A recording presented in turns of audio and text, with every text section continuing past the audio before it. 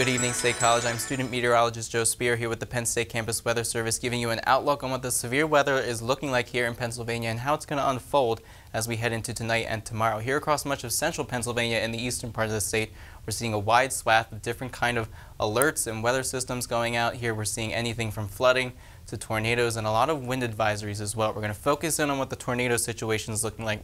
It's concentrated mostly in the central part of Pennsylvania. It's going to be issued until midnight here for tonight, and it's ranging into the south part of the northeast as well. And that's associated with what the Storm Prediction Center thinks is going to be a 5% chance of touchdown in terms of tornado formation. It's ranging at 2% here in the northern part of the state, even a little bit of 10% down in parts of southern PA.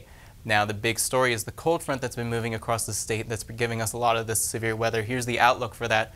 Much of the southern part of Pennsylvania and the eastern part has an enhanced risk of seeing severe weather here in State College and Centre County. We're only at a slight risk, but that's still 2 out of 5. So it's something to keep an eye out for in terms of any alerts that might be issued in your area. Now with this cold front, we're seeing a lot of strong winds here at 28 miles per hour in Erie, 15 in Franklin, 18 in Pittsburgh, 12 here in State College, but the winds are going to pick up as that front continues to progress across our area.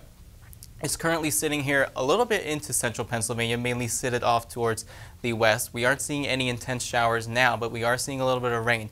But progressing into today, it should move by by 7 p.m. Here's 10 p.m. where the situation is going to look like. The front's mainly concentrated in the eastern part of the state. Temperatures are starting to drop, and as we progress into Friday morning, a lot of the eastern part of Pennsylvania is going to be experiencing some high winds but relatively clear skies. The west part of Pennsylvania is still seeing a little bit of clouds, but progressing into Friday evening, the skies start to clear out a little bit, but the winds still continue to pick up and the temperatures continue to drop. We're going to drop it hour by hour here for you. 6 p.m. We're looking at some strong showers as that front starts to approach. 68 degrees for our temperature.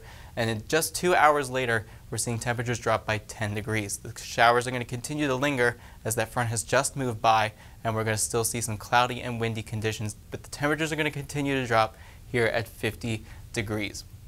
Now for tomorrow, the situation starts to continue in terms of what we've been seeing today.